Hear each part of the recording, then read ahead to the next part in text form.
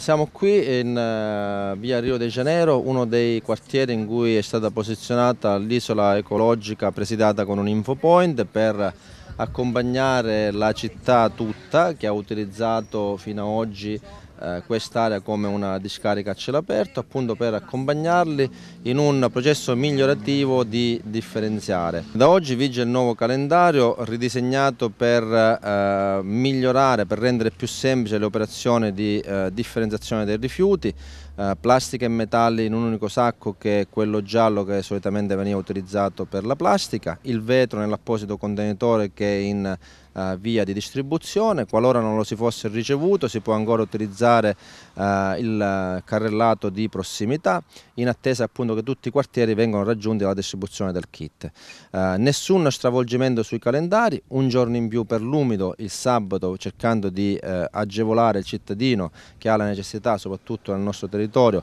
di non avere rifiuti maleodoranti a casa, per contro la riduzione ad un giorno del secco residuale. La motivazione sta nel fatto che differenziando correttamente il secco residuale non rappresenterà, uh,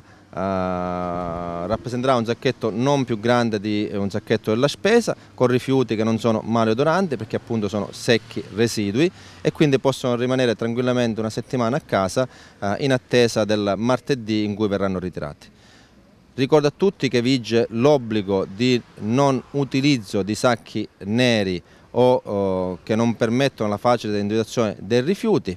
Diciamo che questa settimana si avrà un po' di tolleranza, dalla settimana successiva quei sacchi verranno eh, automaticamente multati perché c'è l'obbligo di lasciarli eh, in prossimità del numero civico eh, per cui ecco, ogni cittadino deve attenersi alle regole eh, stabilite dall'ordinanza sindacale e dai volantini che sono stati distribuiti in maniera massiva eh, presso tutti i numeri civici e comunque presenti negli infopoint dove eh, le ragazze della Tecra sono disponibili a dare tutte le informazioni e a recuperare eventuali lamentele su disservizi o quant'altro. Pannolini è un servizio dedicato a chi ha necessità specifiche, quindi perché ha dei neonati o uh, degli indigenti a casa, basta che chiami il numero verde della Tecra, indichi il, le proprie esigenze, il numero civico e ci sarà quindi questo servizio dedicato con il ritiro porta a porta uh, quotidiano. Già 125 famiglie ne fanno, ne fanno uso, quindi non abbiate timore, uh, il numero verde della Tecra è disponibile per qualsiasi esigenza,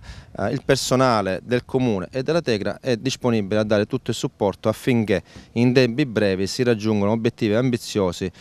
sulla quota di differenziata raggiungibile in questa città.